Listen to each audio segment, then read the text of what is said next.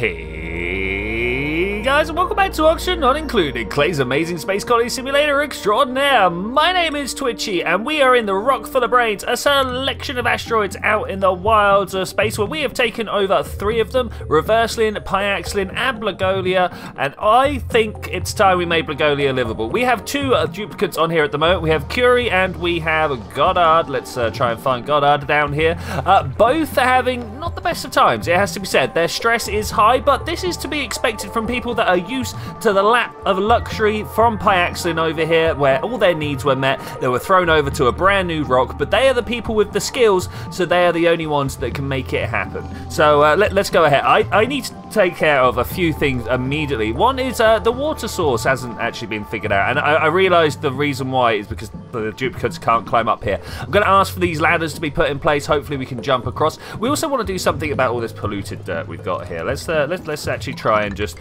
fill that in, and hopefully that'll mean that we're not just getting horrible polluted oxygen everywhere. That's going to be something else that we need to take care of. But another thing that I need to take care of, uh, we got carbon dioxide building up down here. That might sound like a problem, but actually, if we have a look at our dusk caps, uh, we need to supply them with uh, carbon dioxide. We also need to supply them with slime. Now, the carbon dioxide just show you, we've got a load. The slime, have a look at these puffs. Uh, if we look here, they uh, they eat the polluted oxygen that's around. They just destroy it, you know, 50 kilograms per cycle. But they then produce slime, 55% of the uh, of the gas they get. That's that that's brilliant. So we'll be uh, making a Puft branch as well. I don't know, I don't know about that one, but the, the, that's definitely the two things we are aiming for. Now I think I'm going to put the mushroom farm here because it's close to uh, kitchen, living space, or what will be the living space. There's a Pacu fillet up there. Hopefully that'll get taken care of at some point. All right, they all go over there. Another thing that I want to do is kind of put down a little bit of a tile over like so. Uh, let's count down four. One, two, three, four. Put down another line of tile there because I feel like putting down these uh, and some furniture, uh, we can start thinking about people having comfy beds to sleep in rather than the, the horrors that we're making them live in at the moment. And then this also leaves room in front. Uh, this this 4x4 4 is actually larger than you need for a bedroom, but I might move the, the pneumatic door forwards one uh, because I want to come into, well, let's start with the medicine actually. Uh, mo moving a sink on the outside, very important. Uh, and then plumbing, we want to have a lavatory. Yeah, we could we could leave one more room. Let's uh, let's copy that and then cancel that. Uh, and then we, we could put, obviously, the, the thing that we put in everybody's bedroom, a flower pot. I've got a feeling by the time we are done with today's episode, this area will not look like it does right now. We're, we're going to put a lot of changes into effect. Like I want to put, put these across here as well. Uh, I'm not sure what's going to happen with this space that I'm kind of outlining here. I think it might be a utilities cupboard, somewhere where the power and stuff like that runs through. Yeah, that, that might be something that we do. We're keeping the algae and the gold amalgam. Like it's a, it's a nice little feature. Maybe. There is a buried object under there though. Actually, actually, I've changed my mind. We're going to cancel that lot there.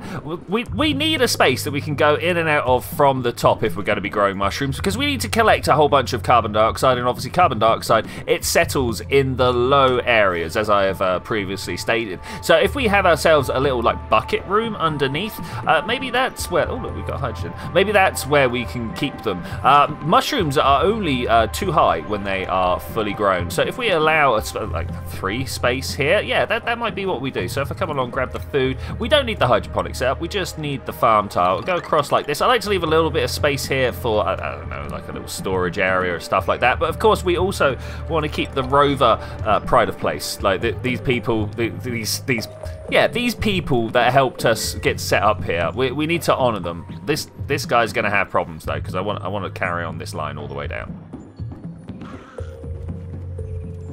Oh, I just watched someone die. I hope that was for old age. So I have been following them around, and by the looks of it, most of the stress is coming from environmental factors, which we should be able to solve by by cleaning up the liquids around here. I mean, that isn't easier said than done. Have you seen how many liquids are around? Oh, look at the little Pythraku. Uh, but like, uh, yeah, what, what the, the, these guys need to move somewhere nice. I think is what we're trying to say here. May, maybe this area over here could just be a huge uh, Pacu farm. I think I think that would be a good idea. Like, take a wall up here. We've got a volcano. Uh, I think this one was aluminium and this one was cobalt. Yeah, yeah. So uh, I, I, like we could build this over this way, and then this one to feed in. Like, could, could you see these having the same chilling unit? I think they might. Oh man, there's another one over here. Hmm, Curie is going on a bingey. I wonder if I can change this. Let's change the crew to just Curie, not Goddard, and, and let let's lock her up for a bit. Is that is that something that happens? That is something that happens. Okay, this is kind of good because on the interior here, I've got I've got no food. I've got no food. Yeah, that's right. I'm locking up my duplicants because they're sad. I think I think we've hit peak dystopia at this point. This is this is this is this is something. Uh, she's just gonna have to wait until she's not expressing herself anymore, and then we can talk. Okay, now Goddard is having trouble even finding food. I, I, hope he gets over that. I really do. Let's see what's going on. Still 100%. Still, still 100%. Curie, could you just like move up here? Maybe, maybe, maybe that would keep you breathing for a little bit longer. I'm not. I'm not trying to suffocate you. I'm, I'm really not. I, wonder if this is actually effective, or the fact that she can't binge eat means that she's not gonna get. I don't. Know, we'll, we'll, we'll be back, I suppose. okay, he's managed to pick up food. That that's good. I, we need to make sure Goddard can eat before anything else happens. I have actually asked for food to start being shipped over, but we're at the mercy of the Radbolts, and I'm, I'm not made a very good system. ah, he dropped the food just outside. Good work, good work, Goddard. Oh, Curie's okay. Okay, all right, that, that worked. That worked. Segregation was the key. Who who knew?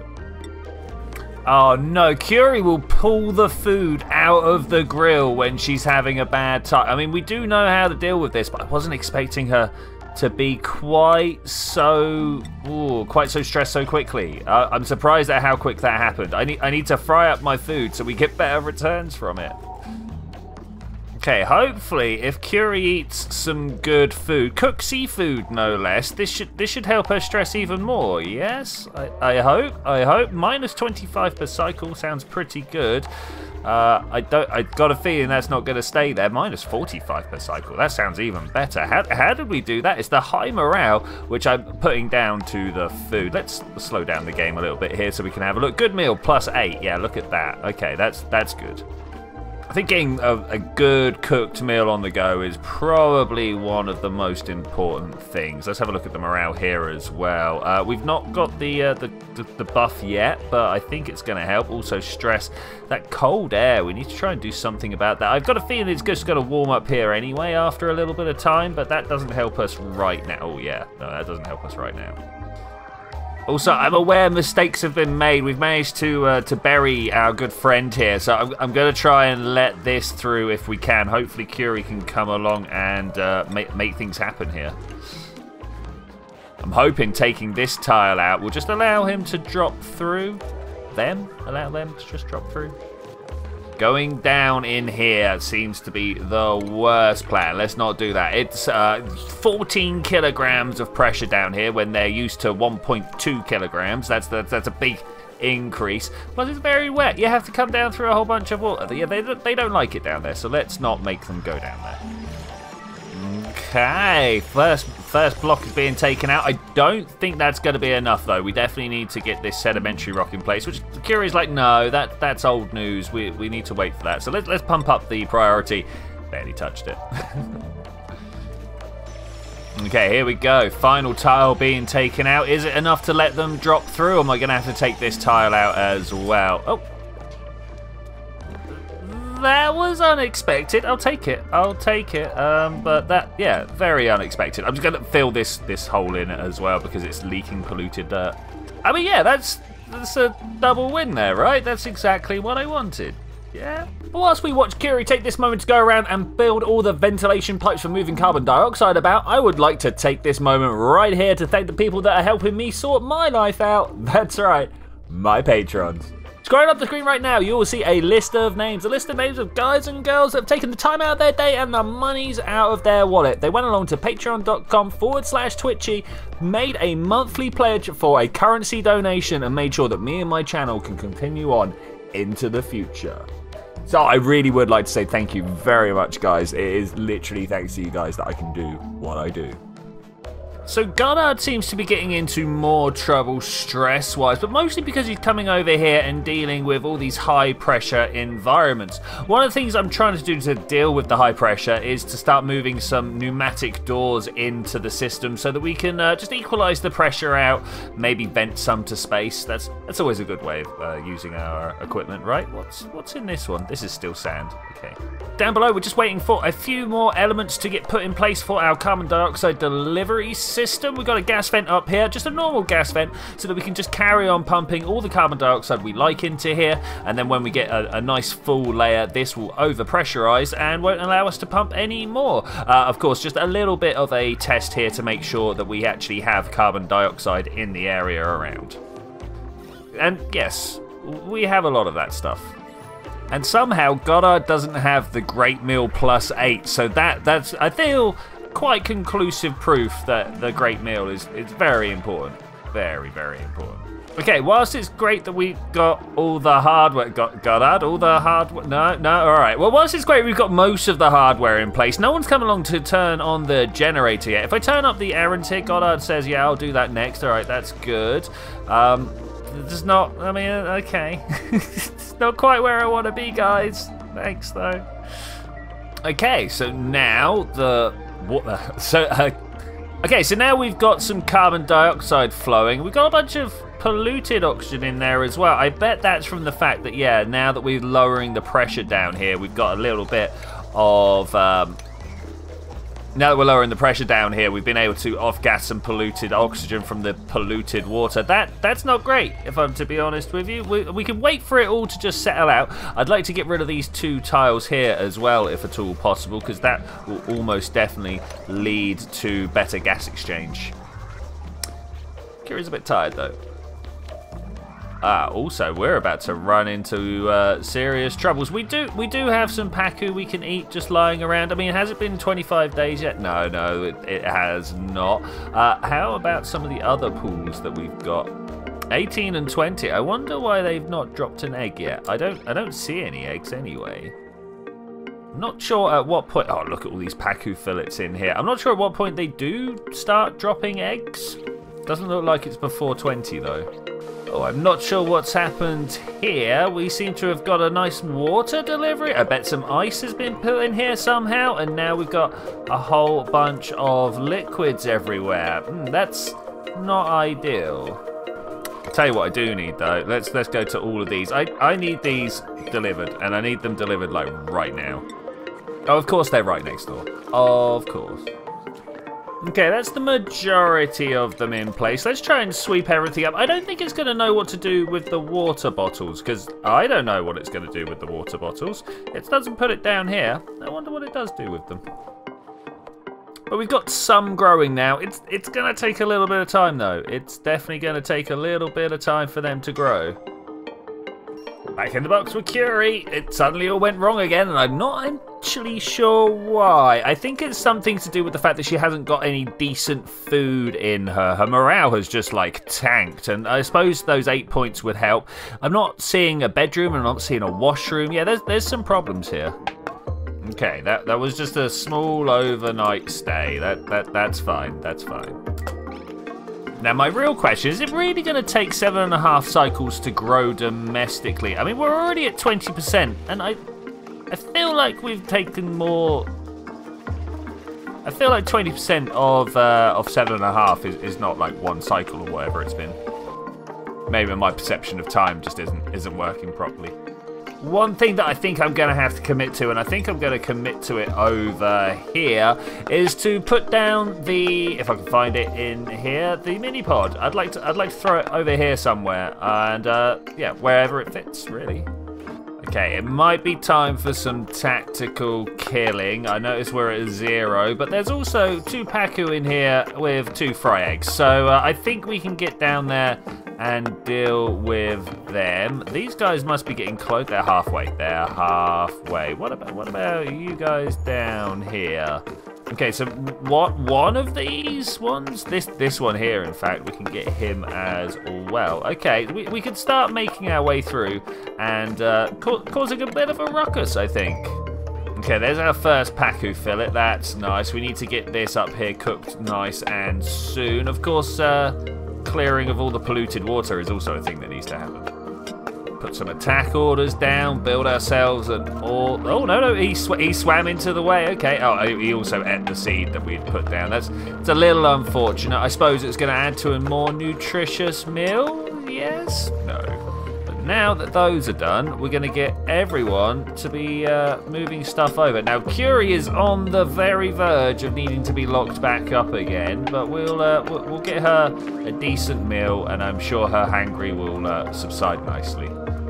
Okay, 97% stress. I think we can uh, safely say that Curie can just um, do some spend some time in, in, in the in the rocket. Just have a, have a little thought. See, just feel some alone time. You know. We've got to figure out very quickly how to get cleaner oxygen into here. This this is going to become a bit of a problem at some point. 98%. Hopefully uh, hopefully she's going to just be fine. Right, nighttime has happened and Curie is complaining of unreachable food, but unfortunately, unless her stress goes down, she, she's just to have to stay the night there. Let's uh, let's turn this off of grounded and hopefully she can like have a good night's sleep. She's probably not to have a good night's sleep. Okay, Curie did not have the best night, but she's allowed back out. That that's all good. Low morale. Oh, that's that's not great. If, if only there was a way to fix that. Okay, we've managed to put off starvation for another day, just, just, just about. So we're going to build this uh, this little printing pod here. I'm hoping, if I'm to be honest with you, because there's printables available, that we're going to get a, a nice little um, activate. There we go. We can also inspect that. Look at that. Uh, discarded journal in, uh, remains inside. How? How? Okay, let's view that entry. Oh man, if, if you want to read it, there you go. I'll probably read it later. Uh, no one wants to change the setting. Let's let's let's get that changed, shall we? All right, brilliant. Let's uh, let's watch this get, get going on. All right, get rid of the the, the new entry. Uh, of course, it takes a little bit of time to get it pumped up and ready to roll, but I feel like Curie's going to be able to get this in hand. While she's doing that, I'm gonna put down some new mop orders. All right, brilliant. And here we go. We got ourselves a printing pod. Choose the blueprint. Brine. Uh, yeah, I don't, I don't want any of these. Oh, look, the selection is different. Let's go with the shine. No, no, I, I don't like this either. Oh, look, the selection is different yet again. I mean, hatches, we could we could do hatches, but I was kind of hoping for some real food, you know. Some pickled meals, some bog jelly, not not uh, no, not dirt or oxalate. Bam! It took a fair few re-rolls, but here we are with some barbecue. That that's what I need. Re really, uh, that's that that's great. That's going to help us into the future just a little bit, and until until all these mushrooms can grow. That's that's all we're waiting for is the mushrooms to grow, and then we need to put a puff farm, and then we need to farm the pacu, and then we need more bedrooms, and then we need a nature reserve, and then and then maybe we can get on to taking on the metals from this planet. Yes. nature reserve might be over the top. Okay, this is going to be bad for Curie. We, we know this is going to be bad for Curie, but we're going to do it anyway. That's quite a lot of water in there. Okay, we're going to let it float. Do we just dig it? Let's just dig it out. Let's just dig it out. And sure, it will be fine. Oh, and she passed out. Okay, fair enough. She's getting stressed in her sleep. We, we should move her up to here and, and let her just sleep up there. That, that might be a better plan. Hopefully. I have tried to move duplicants into bedrooms before, and they've ended up actually running back to where they wanted to be. Mm, okay, I mean, I suppose that's fine. I, I shouldn't have woken her up when her stamina was above. I don't know. I don't know what point they'll go back to sleep. If anybody knows, please do let me know. we are, we are gonna have a bust through at some point. This is just gonna collapse. All of this is gonna slump into. The, well, that, I mean, it's not all gonna slump because it will only go down, but all of this should break at some point, and all the water will drop. That that'd be great. Okay, morale is high, stress is lowering. I'm not sure how much of that is just because I. Oh no, very little of it is because I'm watching her. Great. So everyone's stress is starting to settle out now on Blagolia over here, but more importantly, I do believe we are starting to get deliveries of muscaps here. Uh, none are actually ready. Here we go. This is the one that we wanted to see. Goddard coming along to uh, to harvest the dusk cap. I'm hoping that he'll then immediately pick this up and run it to the grill. That's good. We've got ourselves a mushrooms being delivered. Uh, it's a bit of a shame that he's not instantly going on to cook. Uh, it turns out we need two and a half thousand calories of mushroom to turn that into 2.8. Oh, that's not big gains, but it is gains, and that's that's the important part. But I think with that, I am going to say thank you very much for joining me for this adventure, ladies and gentlemen. I will see you guys next time. We're going to try and expand maybe the Pacu farm, but also we need a good source of slime, so getting a Puft farm underneath will also go down rather well. So I'll see you then. Oh, when we're going to do that. Bye.